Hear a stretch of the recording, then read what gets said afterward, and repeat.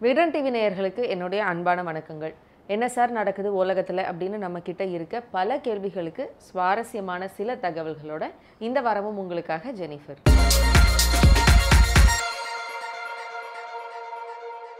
கடந்த ரெண்டு வாரமாக வந்த வீடியோஸுக்கு நீங்கள் காட்டின அவ்வளவு ஆதரவுக்கும் கமெண்ட்டில் கொடுத்த அவ்வளவு அன்புக்கும் ரொம்ப ரொம்ப நன்றி. உலகம் முழுக்க என்னென்ன முக்கியமான நிகழ்வுகள் நடந்திருக்கு அப்படிங்கிறதோடைய தொகுப்பை இப்போ பார்க்கலாம். உலகம் முழுக்கவே இந்த வாரம் பொருளாதார பிரச்சனைகள் தான் அதிகமாக தலை தூக்கி இருக்கு முக்கியமாக பெரிய பெரிய நிறுவனங்கள் மிகப்பெரிய நிதி சிக்கலில் மாட்டியிருக்கிறது தான் இந்த வாரத்துக்கான நியூஸ் இதில் ஃபர்ஸ்ட் நம்ம பார்க்க போகிறது இந்தியாவில் இருக்கக்கூடிய ஓடஃபோன் அப்படிங்கிற மிகப்பெரிய மொபைல் நிறுவனத்தினுடைய நிதி சிக்கல் தான். ஓடஃபோன் அப்படிங்கிறது லண்டனில் ஹெட் குவார்ட்டர்ஸ் இருக்க ஒரு பிரிட்டிஷ் பேஸ்ட் கம்பெனி பிரிட்டிஷ் பேஸ்டாக இருந்தாலுமே இந்தியா உட்பட உலகம் முழுக்க பல்வேறு நாடுகளில் வோடஃபோன் தன்னுடைய மொபைல் நெட்வொர்க் சேவையை கொடுத்துட்ருக்காங்க ஆனால் இந்தியாவில் தன்னுடைய பிஸ்னஸை தொடர்றதுல வோடஃபோனுக்கு ஒரு மிகப்பெரிய சிக்கல் ஏற்பட்டிருக்கு.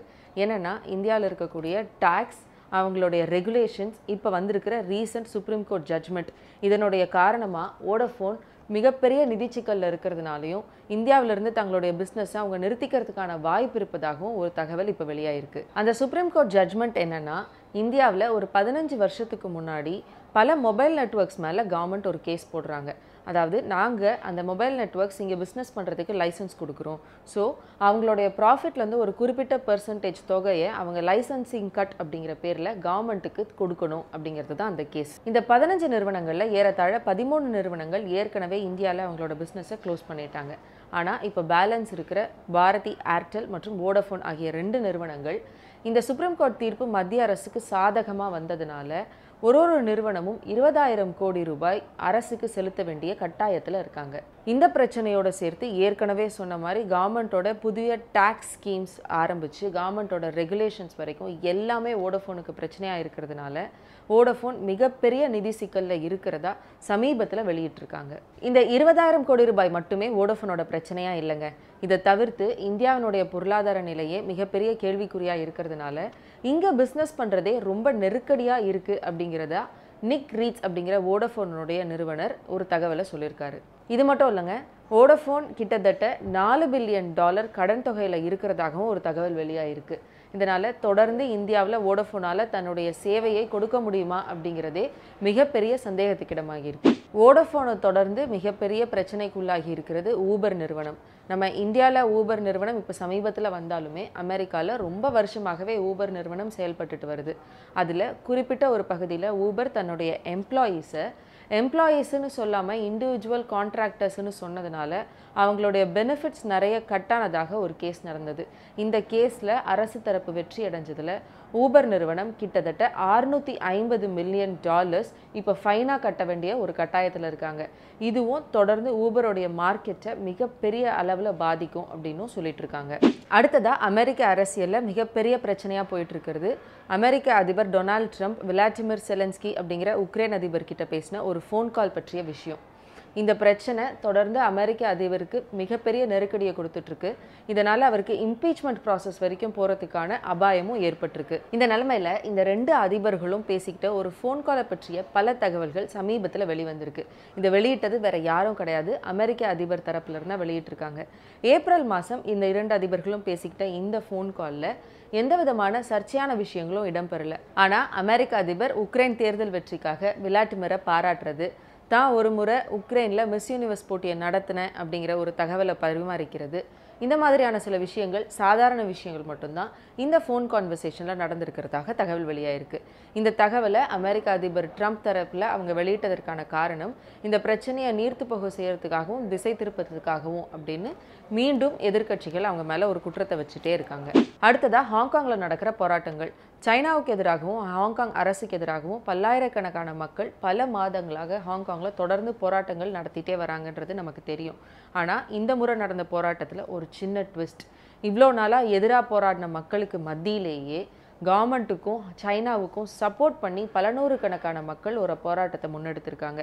இவங்க முக்கியமாக போராடினது இந்த ஆன்டி கவர்மெண்ட் ப்ரொட்டஸ்டர்ஸால் தொடர்ந்து போலீஸார் தாக்கப்படுறதை எதிர்த்து ஒரு போராட்டத்தை நடத்தியிருக்காங்க. இது ஹாங்காங்கினுடைய அரசியல் சூழலில் மீண்டும் பெரிய ஒரு குழப்பத்தை தாங்க ஏற்படுத்தியிருக்கு. ஹேஷ்டேக் அன்டோல்டு உலக அளவில் பல வரலாறுகள் அதிகம் பேசப்படாமலேயே போயிடுது அப்படி பேசப்படாத வரலாற்று தகவல்களை தெரிஞ்சுக்கிறதுக்காக தான் இந்த பகுதி.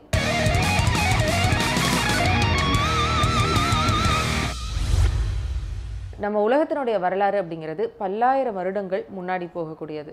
ஆனால் கடந்த நூறு ஆண்டுகளில் நம்மளுடைய வரலாறை நம்ம தேடி பார்த்தோம்னா ரொம்ப முக்கியமாக நம்ம பேச வேண்டிய விஷயங்கள் முதல் உலகப் போரும் இரண்டாம் உலகப் போரும் தான். உலகத்தினுடைய மொத்த வாழ்வியல் அமைப்பையுமே புரட்டி போட்டதாக தான் இந்த ரெண்டு வரலாறுமே இருக்குது முதல் உலகப் போர் எங்கேருந்து ஆரம்பிச்சது? அதோடைய தொடக்கப்புள்ளி என்ன அப்படிங்கிறது தான் ஃபர்ஸ்ட் நம்ம பார்க்க போகிறோம் முதல் உலகப் போரினுடைய தொடக்கப்புள்ளியாக அமைஞ்சது ஒரு முக்கியமான நபரினுடைய மரணம். அந்த நபர் யாருன்னா archduke Franz Ferdinand of Austria.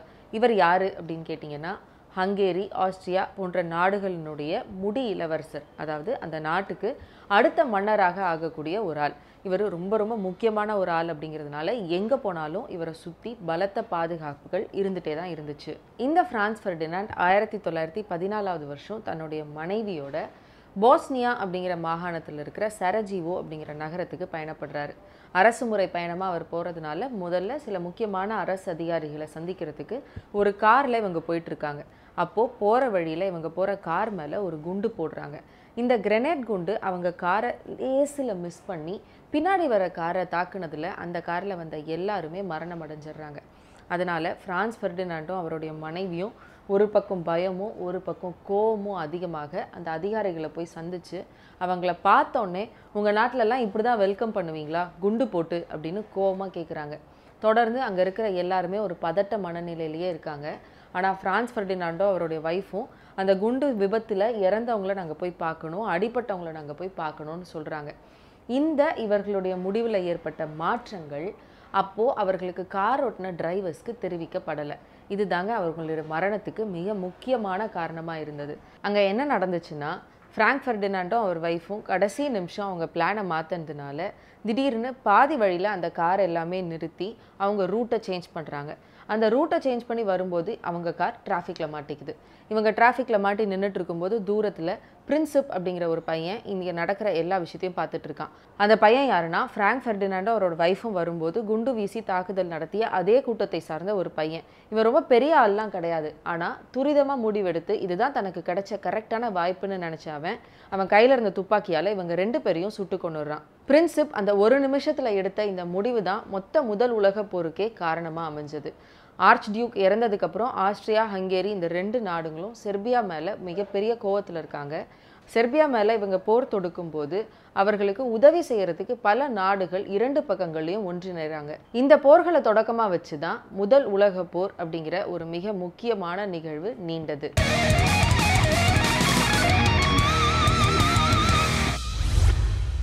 இன்னைக்கு விகடன் பீடியா செக்மெண்ட்டில் நம்ம பார்க்க போகிறது ஒரு முக்கியமான நபரை பற்றி எப்படி கிரிக்கெட்னா சச்சின் டெண்டுல்கர்னு நம்ம சொல்கிறோமோ அதே மாதிரி சயின்டிஸ்ட்னா தாமஸ் ஆல்வா எடிசனை தெரியாதவங்க நம்மள யாருமே இருக்க மாட்டோம். தாமஸ் ஆல்வா எடிசன் அவர் இறக்கும்போது கிட்டத்தட்ட ஆயிரத்தி நூறு பேட்டன்ட் ரைட்ஸ் அவரோட பேரில் இருந்தது. எத்தனையோ விஷயங்கள் அவர் கண்டுபிடிச்சிருந்தாலும் அவர் லைட் கண்டுபிடிச்சது தான் இன்னைக்கு வரைக்கும் மிக முக்கியமான கண்டுபிடிப்பாக நம்ம எல்லாராலையும் பார்க்கப்படுது.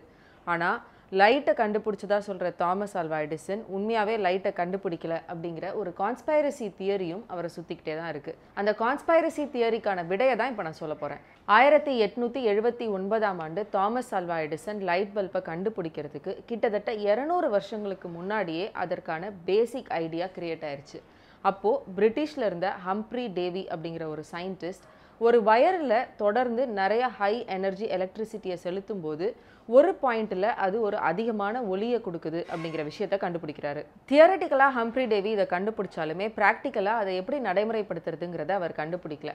அதை ஆயிரத்தி எட்நூறுகளினுடைய தொடக்கத்தில் வாரன் டீலா ரூ அப்படிங்கிற இன்னொரு அறிவியலாளர் தான் கண்டுபிடிக்கிறாரு. அந்த லைட் பல்புக்குள்ளே பிளாட்டினம் ஃபிலாமெண்ட்டை யூஸ் பண்ணி அவர் அதை வெற்றிகரமாக கண்டுபிடிச்சி முடித்தாலும் பிளாட்டினம் ஒரு விலை உயர்ந்த உலோகம் அப்படிங்கிறதுனால அதை மக்கள் பயன்பாட்டுக்கு கொண்டு வர முடியல. அவருக்கு அடுத்து ஜோசப் ஸ்வான் அப்படிங்கிறவர் தான். அந்த பிளாட்டினம்க்கு பதிலாக கார்பனை உபயோகப்படுத்தலாம் அப்படிங்கிற ஒரு முறையை கண்டுபிடிக்கிறாரு. ஆனாலும் அந்த ஃபிலாமெண்ட்டை அவர் திக்கா வச்சதுனால ரொம்ப சீக்கிரமாக அந்த பகுதி எரிஞ்சு போய் அதையுமே ஒரு வெற்றிகரமான மாடலாக மக்களுக்கு கொண்டு வர அவரால் முடியல. நாலாவதா தாமஸ் ஆல்வா எடிசன் வராரு. இந்த முந்தைய கண்டுபிடிப்புகளில் இருக்கக்கூடிய பிரச்சனைகளை எல்லாத்தையுமே நீக்கிட்டு பிளாட்டினத்துக்கு பதிலாக கார்பன் யூஸ் பண்ணி திக் ஃபிலாமெண்ட்டுக்கு பதிலாக தின்னான ஃபிலாமெண்ட்டை யூஸ் பண்ணி மாஸ் ப்ரொடக்ஷனுக்கு ஏற்ற வகையில் ஒரு லைட் பல்பை கண்டுபிடிக்கிறாரு. அது அவருடைய பேரில் பேட்டன்ட் பண்ணிக்கிறாரு. அந்த பேட்டன்ட் அவர் பேரில் இருக்கிறதுனால தான் இன்னைக்கு வரைக்கும் லைட் பல்பை தாமஸ் ஆல்வா எடிசன் கண்டுபிடிச்சாரு அப்படின்னு நம்ம சொல்கிறோம் ஏன்னா தாமஸ் ஆல்வா எடிசன் ப்ராக்டிக்கலாக பயன்படுத்துறதுக்காக ஒரு லைட் பல்பை கண்டுபிடிச்சாலும் அதற்கான ஆராய்ச்சிகளும் அதற்கான முயற்சிகளும் கிட்டத்தட்ட இரநூறு வருடங்களுக்கு முன்னாடியே தொடங்கிருச்சு அப்படிங்கிறது தான் வரலாறு. இந்த வாரத்தோட ஷோ நிச்சயமாக உங்களுக்கு பல சுவாரஸ்யமான தகவல்களை கொடுத்துருக்கோம் அப்படிங்கிற நம்பிக்கையோட this is Jennifer signing off